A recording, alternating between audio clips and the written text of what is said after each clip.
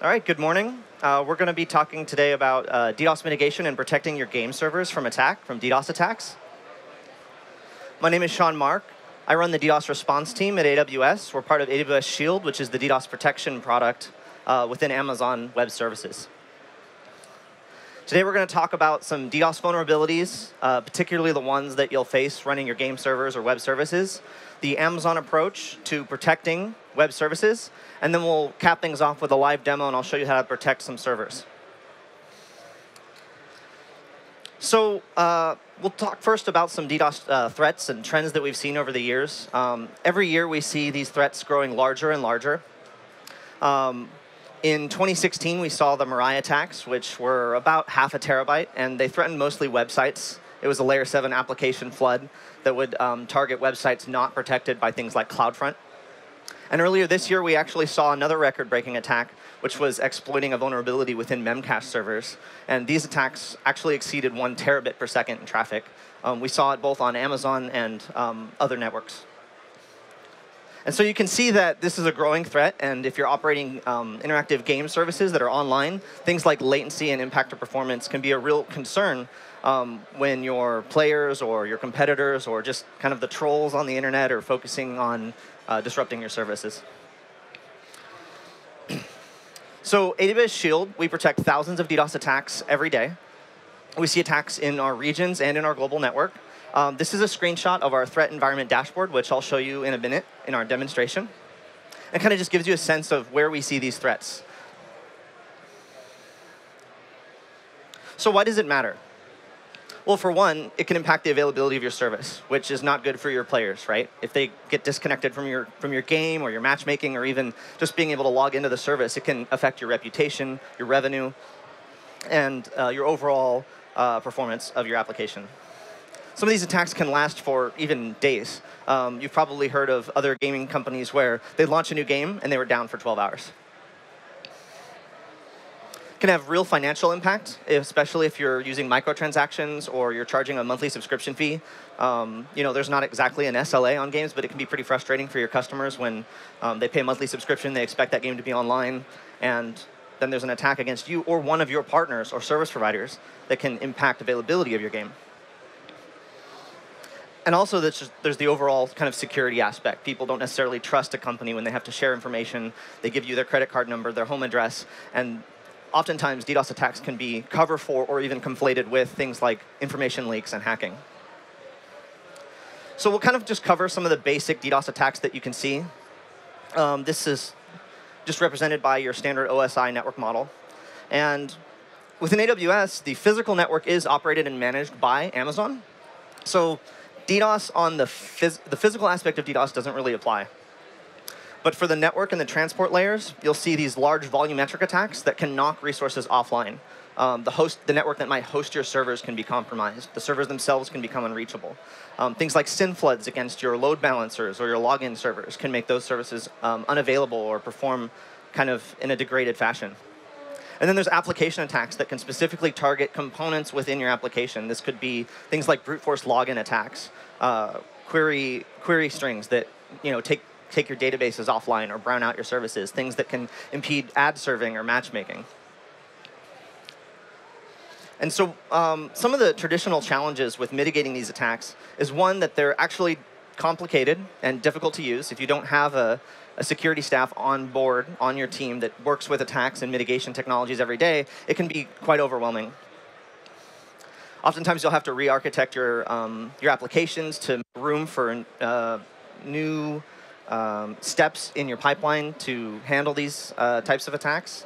Um, and when you're responding to these attacks, um, if you don't have the trained personnel, you don't have the run books, you haven't done the game day, it can really be uh, a tense situation where you're flexing muscles that you haven't used before. Obviously, there's the performance degradation. Um, if you're running an interactive online game, you know, a DDoS attack, sometimes your users can sense the difference in a few milliseconds or latency in the interruption of you know, a real-time application.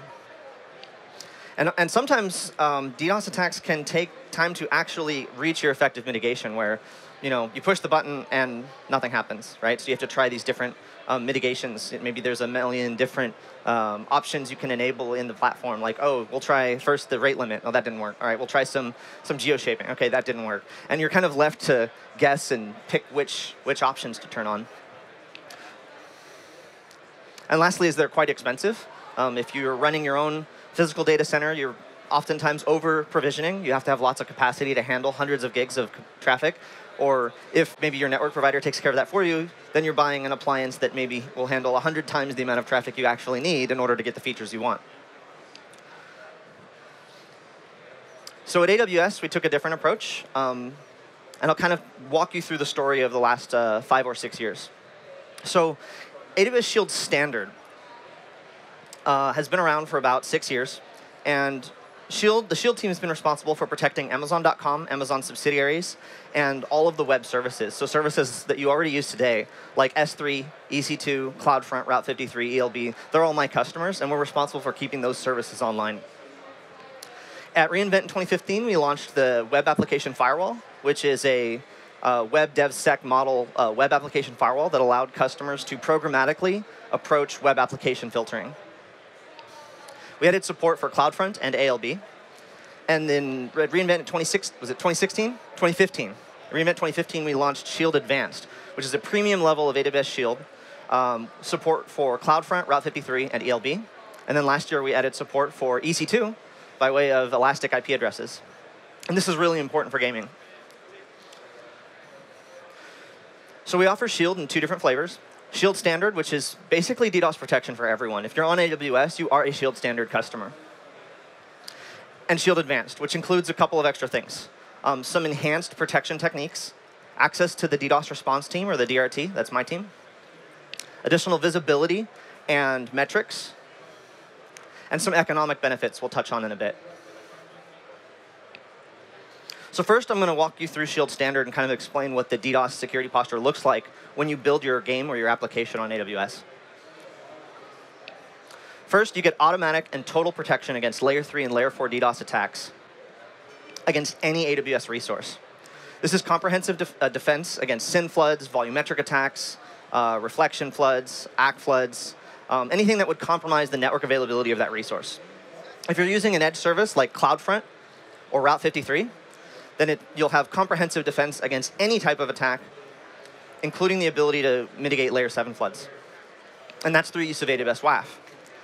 AWS WAF is a standalone service. It's pay as you go. It uses a flexible rule language for you to craft your own rules.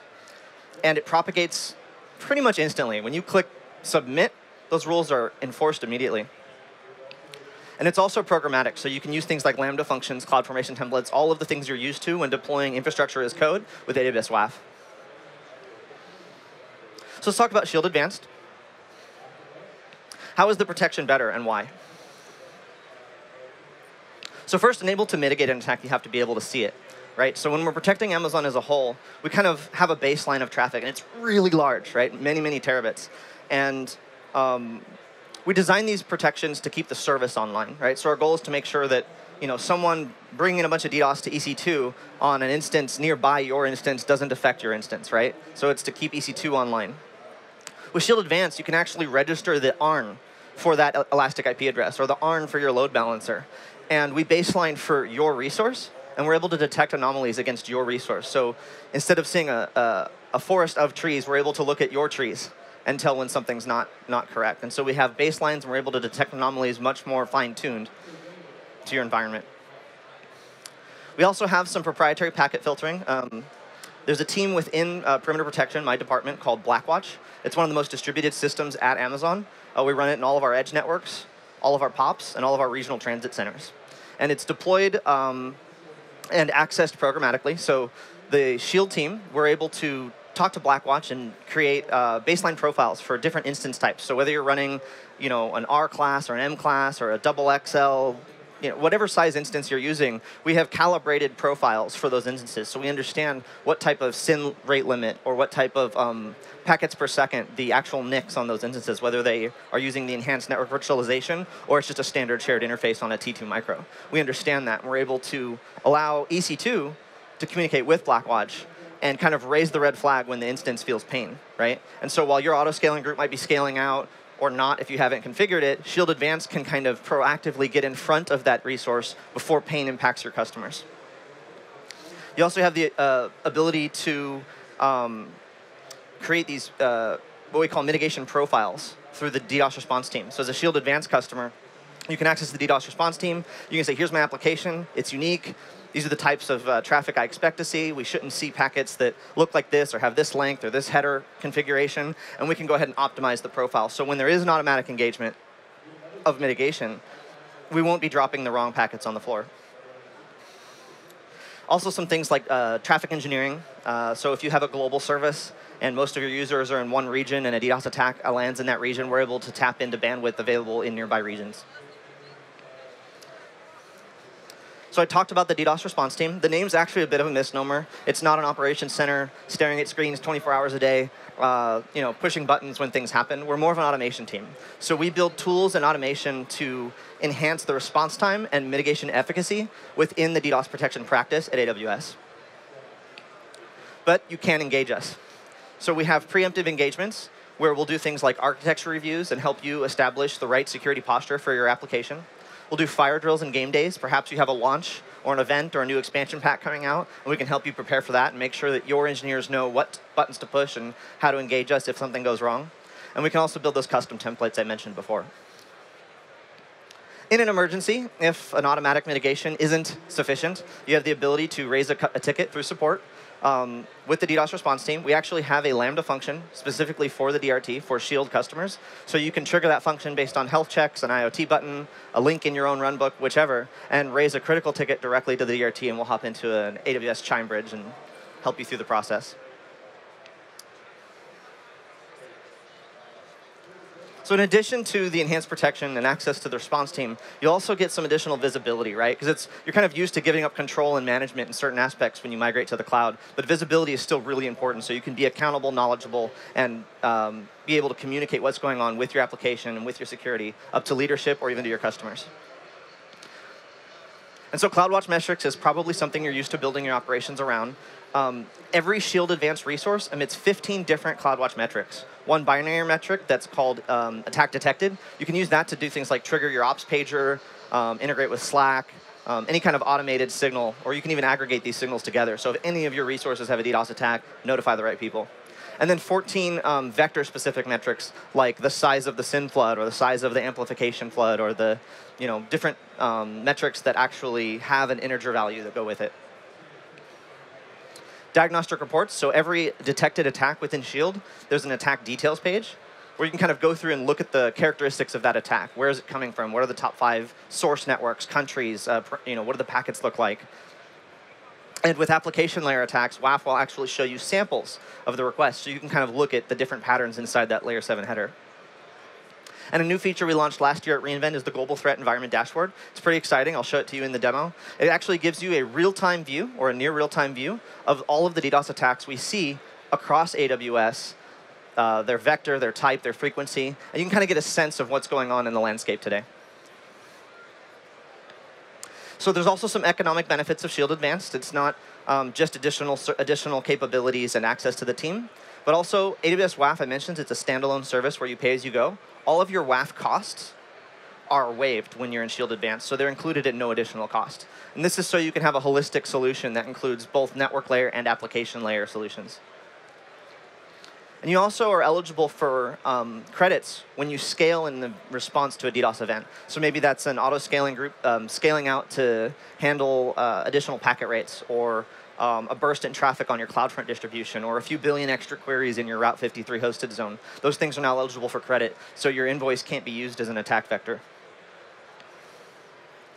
So that's Shield Advanced in a nutshell. It's available on six services, the Elastic Load Balancer Classic, the application load balancer and the new network load balancer uh, by way of the Elastic IP addresses. Uh, Amazon CloudFront that protects your global uh, CDN distributions, and Route 53 for your, uh, for your domain names. It's available in seven regions today and counting, and we're always adding new regions. And these are some of our flagship customers who've been with uh, Shield Advanced since from the beginning, and they're very, very happy. And I'm going to go ahead and walk you through the demo, and we'll protect a couple of EC2 instances. All right. So here we are logged into our AWS console, something no one should uh, be surprised by. And we're going to go ahead and go to WAF and Shield. And we put the WAF and Shield together because oftentimes you won't be using one without the other. Now, the first time you go to the Shield console, if you haven't subscribed, you'll get a little splash page that'll ask you to agree. Uh, Shield Advanced is sold on a 12-month commitment. I've already subscribed on this account, and so instead what it gives me is a dashboard with a list of my protected resources. You can see I'm protecting a load balancer, a couple of CloudFront distributions, maybe my sign up page and my download link, and then my hosted zone, that's like the domain name for my entire game company. But I also have some game servers, um, some, EL, uh, some EIPs that are mapped to like a network load balancer or to um, the instances in the auto scaling group uh, directly. So I'm going to show you how easy it is to register new resources for DDoS protection. I'm going to click Add Protected Resource. And by default, it's going to start in region global. So that's going to look for CloudFront distributions and Route 53 hosted zones. And it's going to scan my account and say, hey, look, you do have a CloudFront distribution you've not protected. But right now, we're interested in protecting um, some EIPs in North Virginia. So I'll go to US East, I'll choose Elastic IP address, and there they are, and it found them for me. I want to protect both of them. I'm going to choose Protect Selected Resources. And that's it. They're protected. So a lot of things actually happen in the background when you do that. Shield starts collecting telemetry specifically for those IP addresses globally around all of AWS's network. We're then able to establish baselines and learn what's normal for those resources. And then when abnormal things start happening, like we start getting uh, matches against our known vector detection or anomalies and spikes in entropy, we're able to then signal through both CloudWatch and through the Shield console that something's wrong and engage our automatic mitigations and start um, activating mitigations against those resources. And when an attack happens, you'll see in the console um, that in this incidents panel will light up red and you'll get more threats. I haven't had any on this account in the last 24 hours. But I can show you what it looks like when you do get an attack. So here's a historical view on some attacks I've had uh, last year and earlier this year. And so when you get an attack, it'll give you a link to the cloud uh, to the CloudWatch dashboard or the CloudWatch metric for that attack. So like for this SYN flood, for example, and this UDP flood, I'll just load them up. I think this is the tail end of an attack that I captured. All right, I'll come back to it. The wireless here is not playing very nice. I'll load up the attack details show you what that looks like too. Right, so this was a 2.8 gig, um, 2.8 gigabit per second SYN flood uh, against a, see if I can look at what the ARN was, no. There it is, against a CloudFront distribution. Um, oh, it was a UDP flood. So this is a UDP flood about 2.8 gigabits against CloudFront. Now, normally if you're using CloudFront, you would never be able to tell that you were receiving a UDP flood, right? Because it's just a TCP-based HTTP CDN. And the attacks details page, you can see um, the top source countries, some of the top talker IP addresses, and then the networks that those that, that traffic was coming from. And so I'll show you the global threat environment dashboard. This kind of gives you a snapshot at a glance of all of the DDoS attacks we see across AWS. I'm at the mercy of the Wi-Fi here. here we go. I kind of want to change it to last two weeks, but I don't want to push my luck. So you can see that uh, you get you get a heat map that kind of tells you where the most recent attacks are. Some interesting information, a summary of the last day, uh, 701 attacks. And I think this resets at midnight. I don't think it's scrolling 24 hours. So just in the last 11 hours, we've had 701 attacks. Um, now, there might actually be more than that on Amazon. These are just the ones that actually map to resources that we're tracking for Shield, right? Shield Standard or Advanced. The most common vector is UDP reflection. You can see the largest bit rate this morning anyways was only 55 gigabits per second. And this is a little histogram uh, and another histogram by vector.